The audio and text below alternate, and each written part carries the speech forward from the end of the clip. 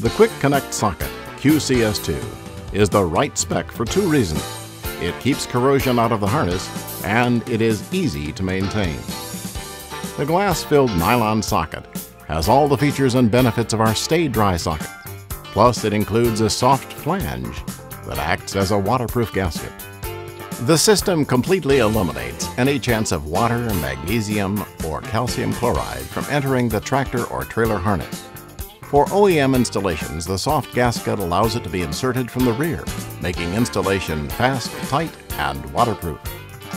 For retrofit or upgrades, both a 2-foot and 4-foot blunt cut cable is available to mate with your present harness system.